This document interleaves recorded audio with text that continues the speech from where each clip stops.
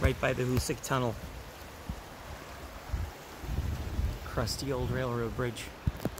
Or excuse me, bridge that looked like a railroad bridge, but it says weight limit six tons.